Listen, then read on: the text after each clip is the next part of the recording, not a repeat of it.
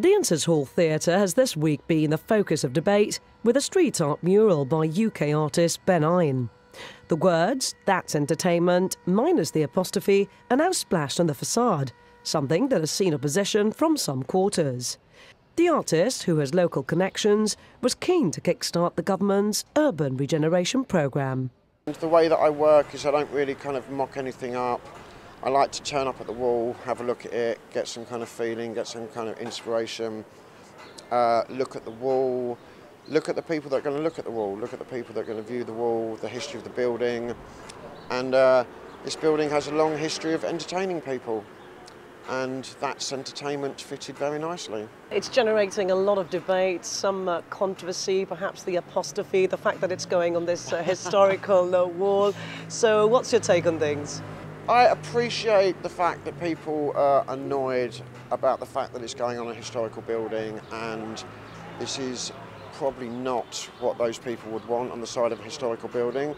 However, we're only painting over what's already been painted. You know, we're not touching any of the building that hasn't been painted and yeah, basically we're just giving it a fresh lick of paint. Might not be the colour they want and you know, at the end of the day, it's, it's paint. If you don't like it, you can paint over it. It's like, no big deal. The artist is confident Gibraltar would benefit from being a street art venue and destination. Basically, people are interested in street art. It generates revenue.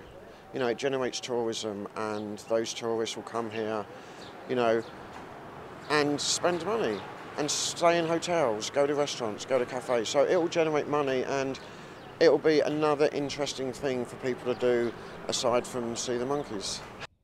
His passion is evident, with Ben having worked in the industry for over two decades.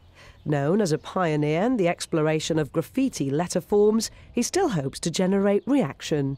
It is a reactionary type of art, but the reaction that I get nowadays is 99% positive.